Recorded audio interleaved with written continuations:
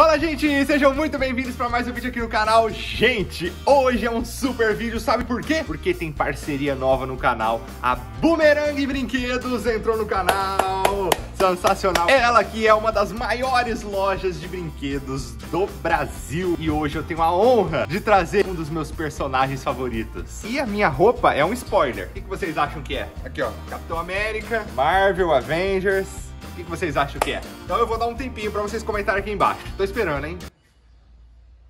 E aí, comentou? Então vamos lá. Atenção! Um, dois, três e... Olha só o tamanho dele, gente. E aí, tá gostando do vídeo? Então, já se inscreve no canal, curte, ó, se você quiser comprar esse grote e chegar na sua casa, na Boomerang Brinquedos, o link de compra tá na descrição desse vídeo, fechou? Falando nisso, eu acho que eu falei errado, né, a pronúncia, grote é Groot. Eu sou o Groot. Não riam de mim, tá, nos comentários, não seja maldoso e fale, meu Deus, ele não sabe pronunciar. Não, não faça isso, entendeu? Fale do jeito que você quiser. e é isso aí, beleza? Bora lá. Ó, vamos abrir. Obrigado, Bumerangue de Brinquedos. Precisava de uma faquinha aqui, né? Meu Deus do céu. Pera aí. Era só tirar aqui, produção. Olha só.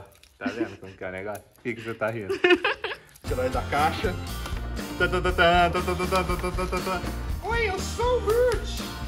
Meu Deus do céu. Atenção. Olha isso, gente.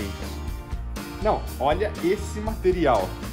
Perfeito, olha isso.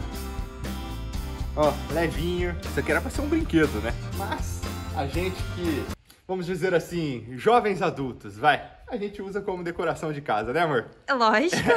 então é isso, gente. Eu vou postar uma foto com o Groot lá no meu Instagram. Se você não me segue, o link tá na descrição. Ou já vai direto, arroba Felipe Zappa, tá aqui na tela. Pra você que quiser adquirir o Groot, o link tá na descrição desse vídeo. Ou outros brinquedos, eles trabalham com toda a linha. É fantástico esse site. É só clicar aqui embaixo e eles entregam na sua casa. Tamo junto, Boomerang. Eu vou deixar ele finalizar o vídeo, hein? Tchau!